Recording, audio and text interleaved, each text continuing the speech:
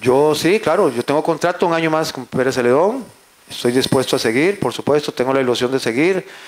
Quiero, mi meta cuando yo llegué aquí era, es, era en este torneo, pero no lo pudimos lograr en este torneo, pero es para lo que viene eh, clasificar a este equipo a las, a, las, a las semifinales.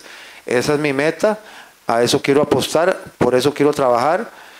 Vamos a hacer un análisis bien profundo, ya lo hemos venido haciendo, ya ellos tienen eh, algunas ideas de lo que nosotros también del análisis que hemos hecho nosotros, pero mm, no nos habíamos podido reunir con calma porque por, toda la situación, ¿verdad? Por el trajín, por, lo que estábamos jugando. Ahora tenemos más, más calma, más tranquilidad para, hablar.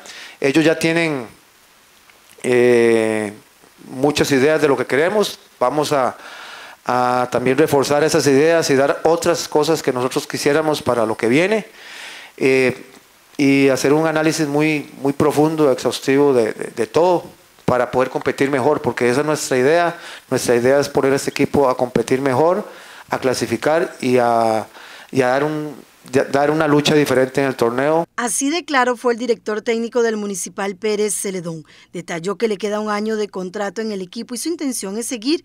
Esa respuesta la dio luego de que se le consultara sobre una reunión que se tendría este martes en la Junta Directiva, analizando el trabajo del equipo, incluyendo el cuerpo técnico.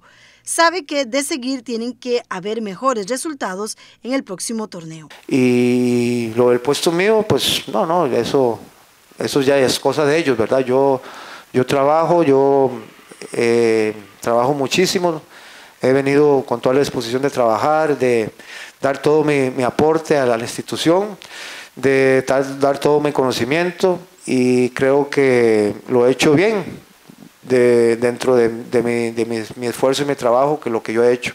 Ya la decisión la toman ellos, por supuesto, pero yo creo que confiamos todos en que el proyecto va a seguir eh, y que vamos a, buscar mejorar lo que se ha hecho hasta hoy, porque hay muchas cosas. Asimismo, agregó que se han hecho cosas buenas y que se han potenciado muchos jugadores de la cartera. Cuando yo llegué aquí, Guillermo Villalobos prácticamente no existía, que era el Ríos prácticamente no existía, Axel Almador jugaba raticos, em, eh, Johan, Conde, Johan Cortés prácticamente no existía, Eric Marín prácticamente no existía, Ismael Morales no existía, Aarón Fallas no existía.